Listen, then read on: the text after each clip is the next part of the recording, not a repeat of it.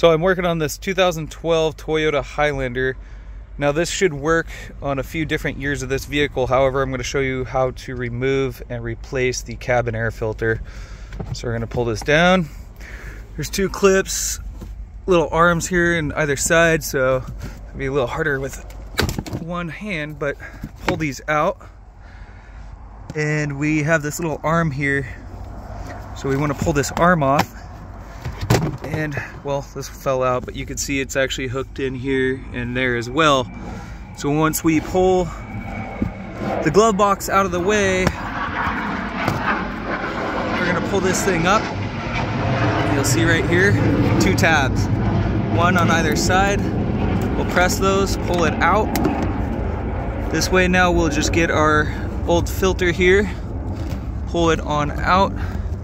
You can see the difference between the two so now we'll take our new filter and it's always gonna have a direction of the airflow. So the airflow is gonna be coming from the bottom up. So we want the arrows facing up on this.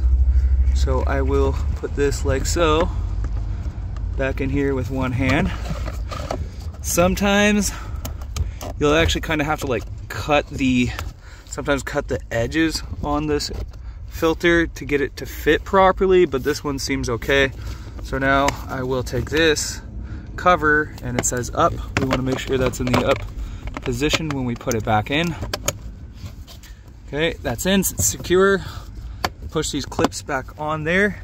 Now, at the bottom of this, I said, you see these here? We wanna make sure those go into here and here first.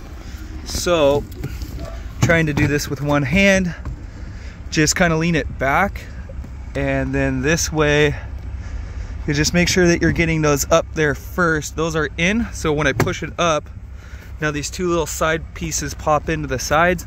You don't want to forget this arm here so sometimes you're gonna have to pull it down from the side.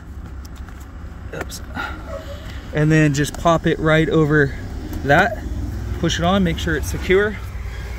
Close it and it opens good that's how you remove and replace a cabin air filter on a Toyota Highlander.